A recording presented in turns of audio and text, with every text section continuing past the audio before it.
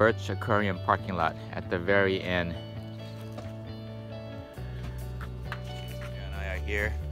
We're gonna go up to the swing. We have to take that route.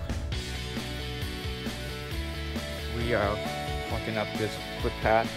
It's approximately about 100 feet up or something.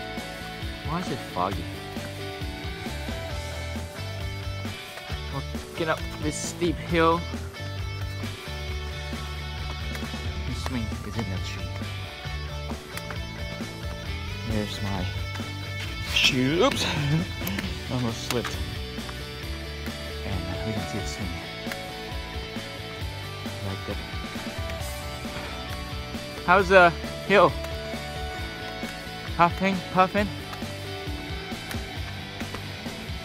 The sun. The sun in my eyes. Here's the shortest swing in the world. Swing. and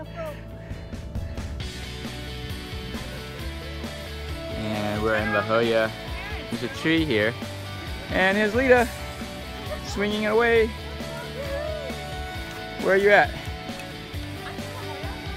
What does it say? Beach, don't kill my vibe. Cool. That's cool. Okay, now I gotta take a picture like that.